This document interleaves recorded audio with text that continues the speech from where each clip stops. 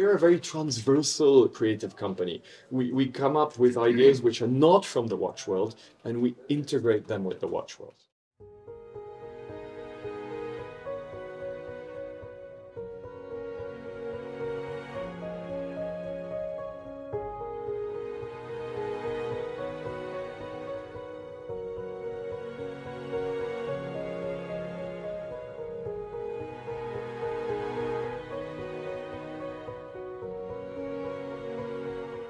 So yeah, and then this uh, gives you a little glimpse of uh, some of the uh, our presence worldwide. So typically our Mad Galleries or the MB&F Labs, which are like smaller Mad Galleries.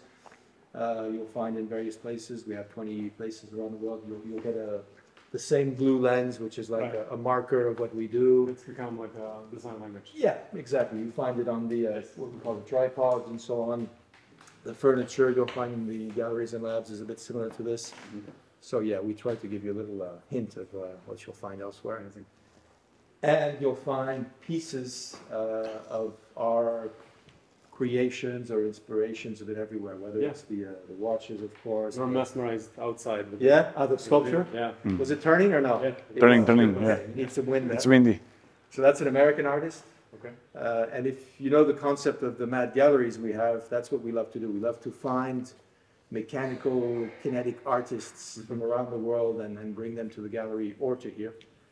Uh, just as long as there's something mechanical and in movement and that we like it, then potentially it has a place uh, here at the gallery. So yeah, that's uh, an example. Over there you have another one that's a, a mechanical flower. Uh, I'm not sure it's working right now, but yeah, you, Ah. yeah, you can trigger it. Yeah. And if I approach, Exactly. It has it has different modes, but basically the sensors here will recognize you and then put it in motion for a little while. And then, of course, if you leave and no one steps in front of it, it stops. Yeah, you used to Yeah. finish the motion of it. Yeah. Exactly. So the clocks we do with uh, our partners uh, L'Épée. First thing we noticed. Okay, yeah. So yeah, we've been making uh, wow for a long time now, since uh, 2014. So 10 years, in fact. Uh, these uh, clocks with uh, this incredible company called L'Épée. They're almost 200 years old. we already. Uh, you've met them? yeah, we, yeah. we know. Yeah, we know. Okay, good. yeah, yeah. Yeah. So yeah, back in I think it was 2012 when we started the project. A beautiful production, but very classic, kind of old-fashioned at the time. Said, hey, would you be interested in you know we bringing designs, you doing the manufacturing, and we creating together these new clocks? Okay, so this is your design. It's our design, Just but they're manufacturing. Okay. Yeah, that's how we do the, the co-creations, as we call them. Mhm. Um, and we've been doing that ever since. I think we've done 14 different clocks together. Okay. Wow.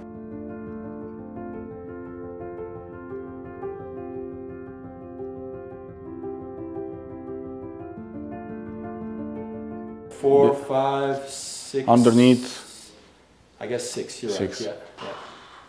Yeah. yeah. Uh, no, actually seven. You're right because the top part is in two pieces. There's a cross and then there's the Yes. dome on top. You're right. Yeah. Okay. Smart. Exactly, yes. I know something. You know something.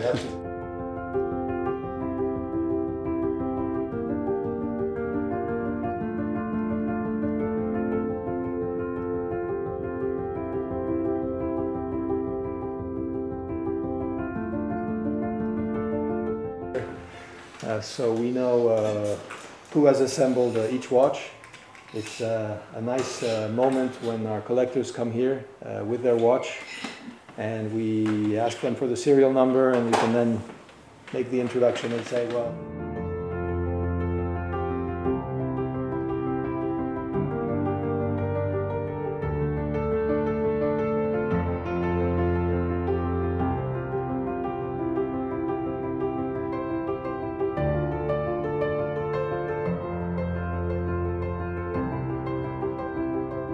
cover all these novelties. I was saying on the first day on, on, on Tuesday, uh, the Revolution team. I don't know how many posts they did of way presenting the novelties because you need to you need to, to I mean to, To actually to shoot it? shoot it, edit, yes, and write an for like, I article. don't know, five or six different. How do you do that in a day?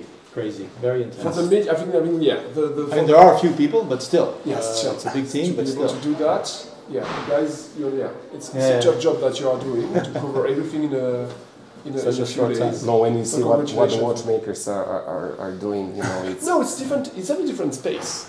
Different it's rhythm, extremely, different, uh, extremely precise and so on. I agree with you. But you, you have to cover during these weeks. I mean, the walk during the day and at night to finish everything before posting it. And so we realized that we didn't have like a free walk Uh, on the on the Watch and Wonders. Through the city or, You know, or the uh, like- Palexpo, nothing. and, nothing. And only, only on event. On event was like, you know, we need to go there, we need to go there. So yeah, let me finish the winding here. Oh, Tack. Oh, sorry.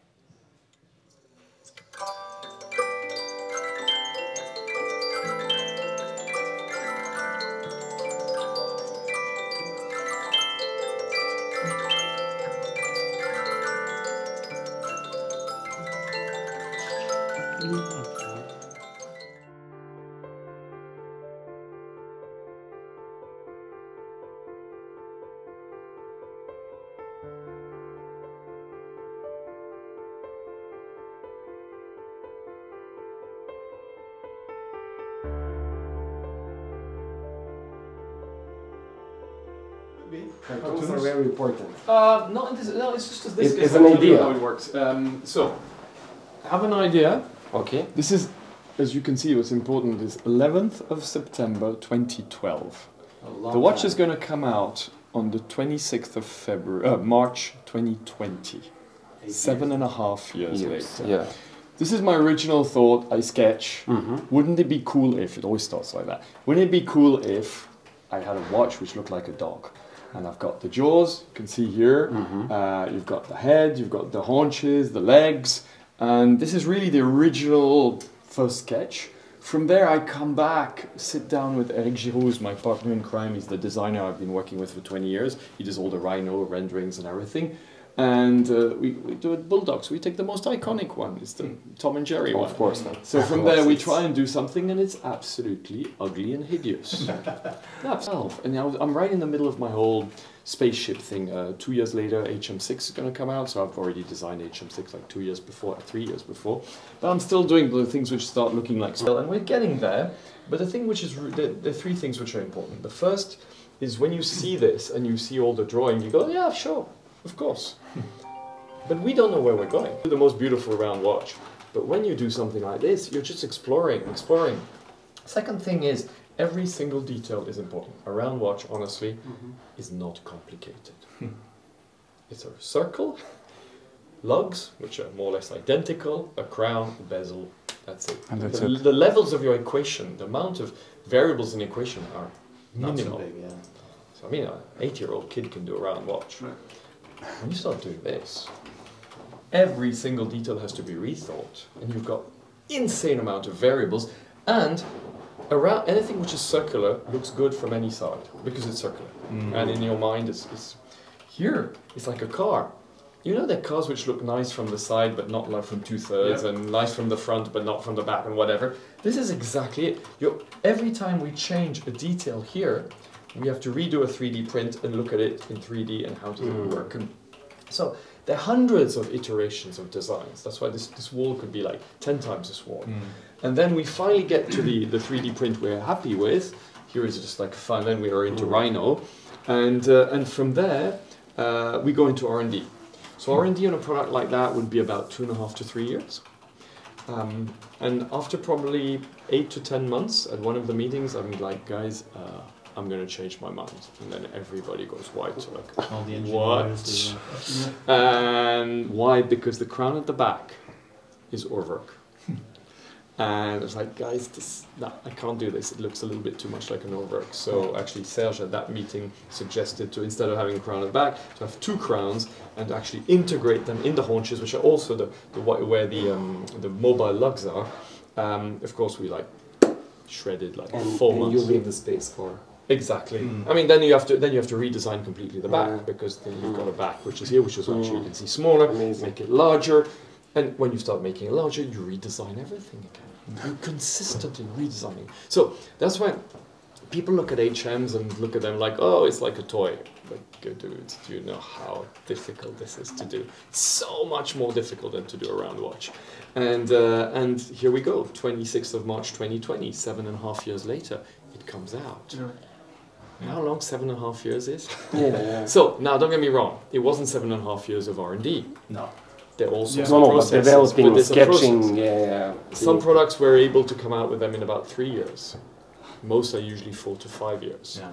This was a lot also because I was procrastinating and other projects I That's did before, etc., etc. Mm. It's just a good example.